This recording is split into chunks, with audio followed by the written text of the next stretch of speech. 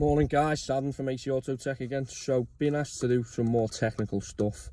So first of all, we've got this morning, nice Monday morning. We've got a Honda Jazz with what's suspected as a battery drain. Um, garage have already checked the charging um, and the battery they're saying it's okay every couple of days customers having to jump start the car so with you we're going to go through um, a battery uh, parasitic drain test so here we go. Let's see how we get on. Any test is we're going to check the battery voltage. So we just use this snap on meter you know some some of you won't like it. I uh, we, we tested this compared to you know all the different ones out there. And it, if this come within a couple of percentage of you know all of them the Pico the Bosch all that type of one. You just find this being mobile. Nice quick easy. Test so first of all before we do anything when you're testing a battery we turn the headlights on and we're going to give it 10 seconds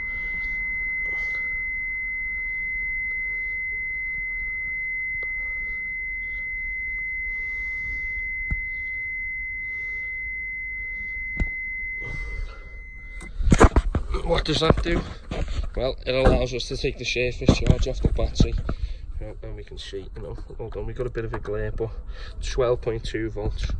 So, as you can see from the side of the battery, we're going to set it to small. And then we're going to test the battery. So our battery capacity coming back as. So, we're actually getting 89% there. So, obviously, we're going to be looking for a charge and retest on this battery.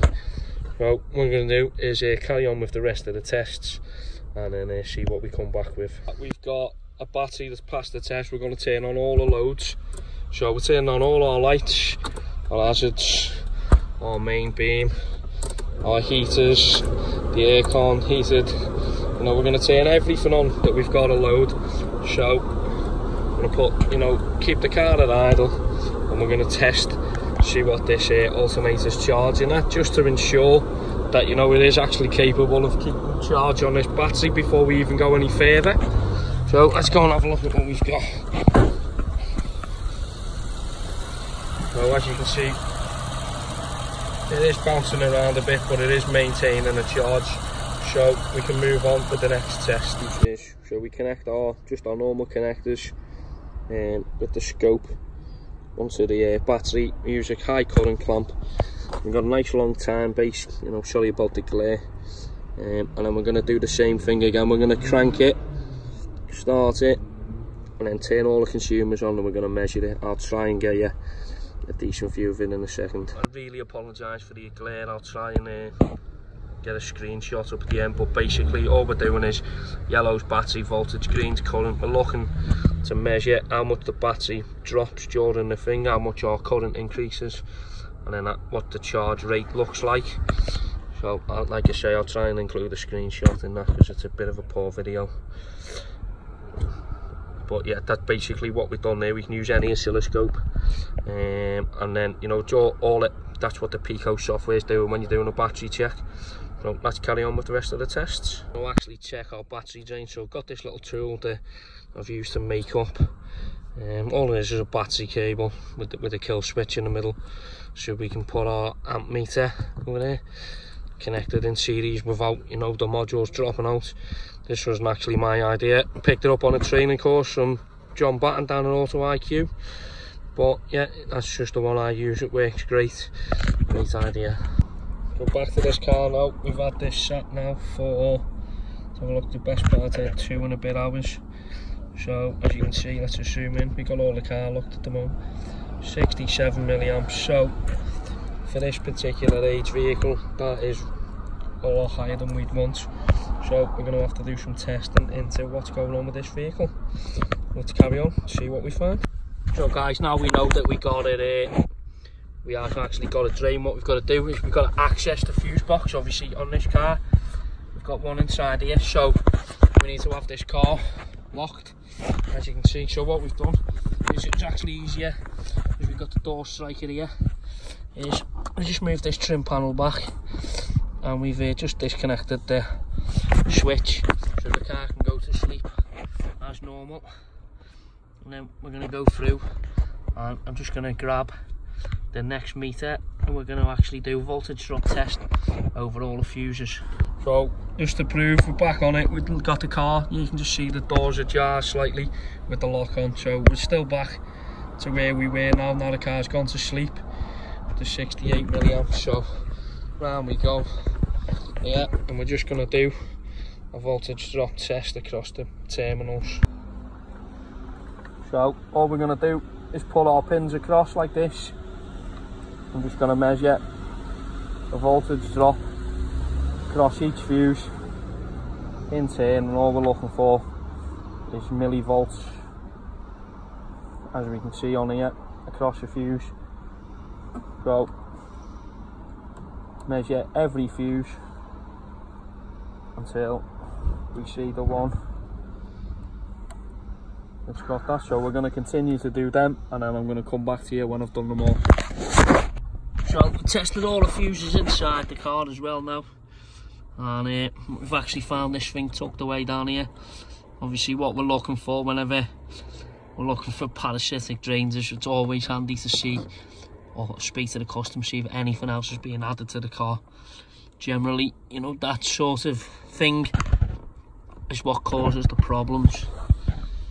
So now we're going to go back and just check the fuses that we've marked up and uh, see what results we've got.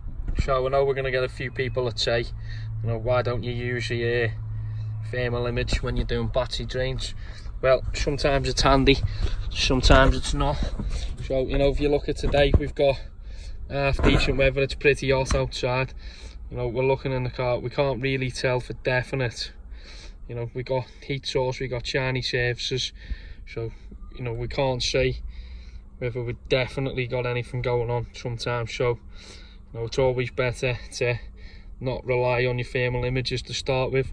Go through all your fuses and then go from there. So as you can see all we've done is we mark the fuses all we do go through. The ones that have got drop on we just mark them over. Now I'm dropped right down onto the millivolt scale on the thing. Make sure we get a good contact. As you can see you know we're getting there or thereabouts you know 0.13 we were getting 0.17 before when we tested it so we've definitely got a drop there. And then if we move around into the cab you can see just move the laptop. We've got this lovely fuse that I showed you before. Now let's just set our meter up here. And then we're going to go across the pins on there again. The contacts just bear with me here we go so we're getting 0. Point, oh bear with me bad contact on the fuse here oh.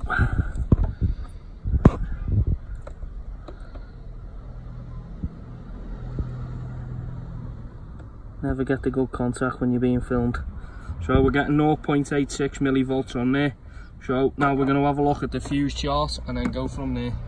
Once you've gone through you find all your fuses what's got what drop. There's a nice little fuse volt chart so we're going to different one make sure that you pick the mini fuse. There's different places available for these type things. Um, so you know we've got 0.17 so you know close enough to 0.2 so you know that confirms that you know, this is saying 15 milliamp there we go 44 milliamp drain on that circuit. So we're going to see what's on that circuit.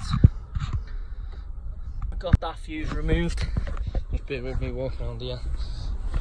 We've removed the fuse from here as well. It's actually sat there under the pliers. Mind.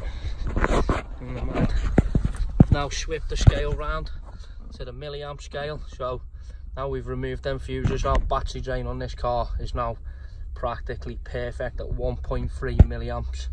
It's not going to get pretty any lower than that. So now we've got enough evidence to go to the customer for authorization to find out what's on the, their fuses and uh, see what's drawn in drain. I'll uh, do another video shortly. Okay bye bye